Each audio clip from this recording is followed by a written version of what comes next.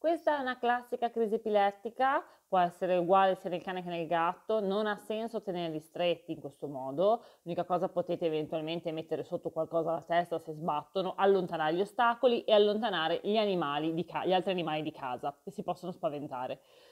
Avete fatto benissimo invece a riprenderla perché per il neurologo sarà fondamentale il video della crisi epilettica, di tutta la crisi epilettica, fino alla fase post-ictale che vediamo appunto poi eh, terminare il video con la fase post-ictale. Se la crisi non si interrompe e dura più di 2-3 minuti, bisogna caricare l'animale in crisi epilettica e portarlo dal veterinario più vicino perché va interrotta farmacologicamente. Sopra i 3 minuti la crisi epilettica diventa, incomincia a diventare pericolosa per la vita del paziente. Di solito le crisi epilettiche sono autolimitanti e durano 1 massimo 2 minuti. Quindi è importante sangue freddo, potete filmarla, anzi fate bene a filmarla per il neurologo e cronometrarla. E se non si interrompe, subito di corso in pronto soccorso.